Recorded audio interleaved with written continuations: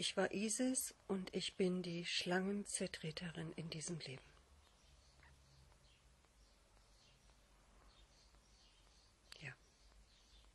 Das ist Luzifer. Wir machen das in den Lüften.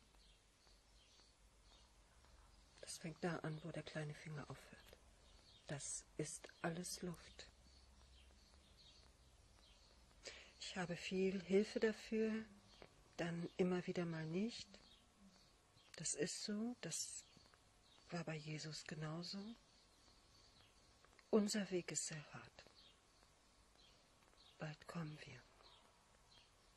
Ich freue mich darauf. Ich freue mich auf Sie.